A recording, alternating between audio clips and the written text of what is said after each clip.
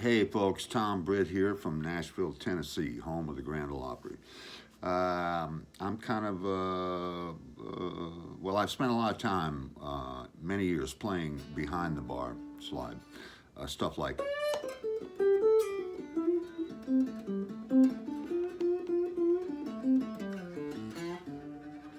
Um, and it's, you have to start simple. Obviously, I've been doing it for a long time. So um, just to get you started, I, I, let's let's start with uh, uh, D chord. We're doing D chord tuning. So let's start. The first string is a D. D. Next string, A. Next string, F sharp.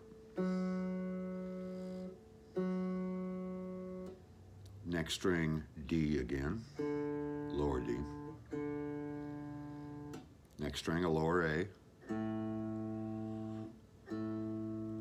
And the sixth string, a low D. So it's...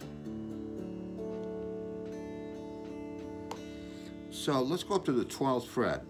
Now, this is a D chord, obviously, because you're on the 12th fret, and you know, hold your bar across like this. It's good to have a, a, a, straight bar. I use Dunlop 211s. They're perfectly straight. Makes it easier to play behind the bar.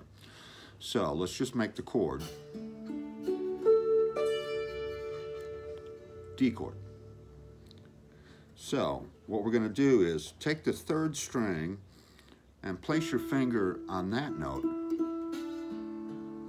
and just barely lift your bar up uh, on, on that third string. So it would be like...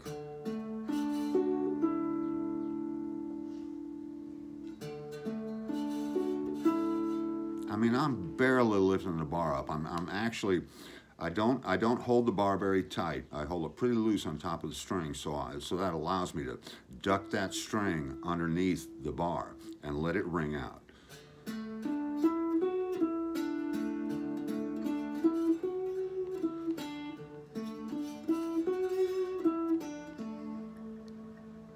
and then you can you can do it in various other places. You can uh, starting at the top. Uh,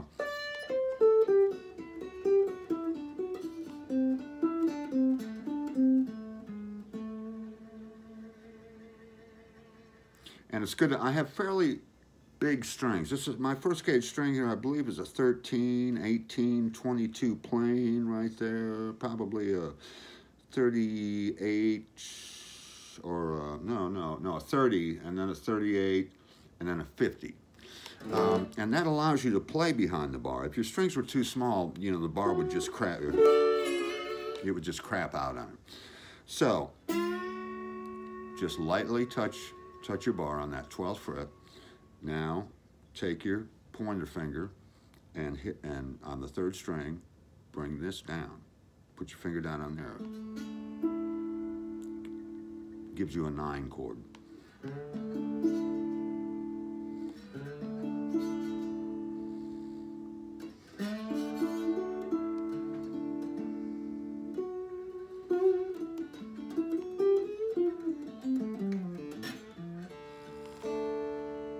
So I incorporate when I play slide, I incorporate a little bit of finger behind the bar all the time, pretty much all the time.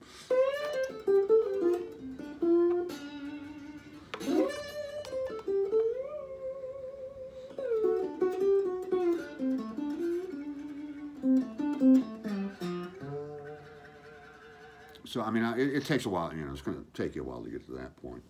But just as far as uh, uh, the technique involved, just practice on just doing one string at a time. Letting them ring together like that. That's part slide and part finger. Add a little bar.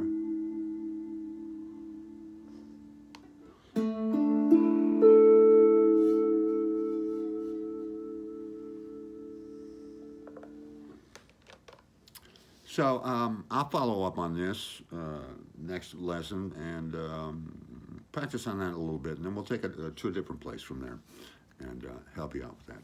Thank you.